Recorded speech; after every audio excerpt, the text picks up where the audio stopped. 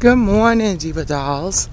It is Saturday, January the 18th, and it's a little brisk out here, um, but it's doable. And I'm out here early this morning trying to get in at least um, 45 minutes. My daughter has to work this morning, so I am on grandma duty, okay? So I figured I'd get up get out and get motivated, whether it's 20 minutes, 30 minutes, or 40 minutes. I know for sure that it won't be an hour because I'm pressed for time. It's a little before 8 and she has to be at work at 9.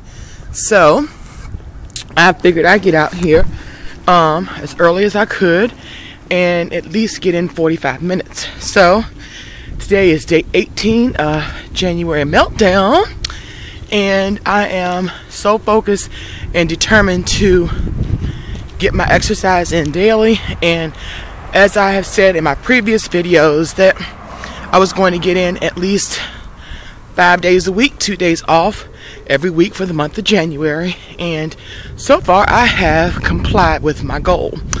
Um, anyway, so I'm going to turn on MapQuest, get in 45 minutes um, and this will probably be just part one of my workout because since I'm going to be in the house with the baby, um, I'll get in some Zumba.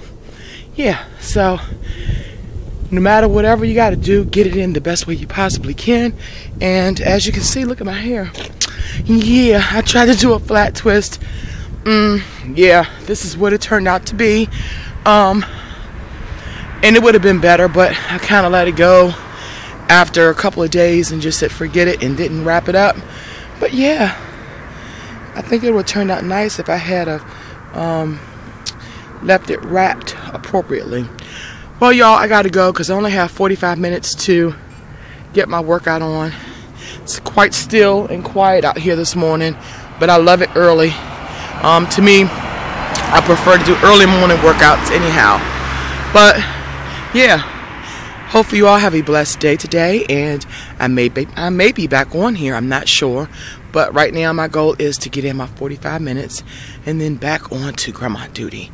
Anywho, I will holler at y'all later, and remember to take time out for you and get your cardio on, get your melt on. It's about being healthy. It's the new sexy. I holla.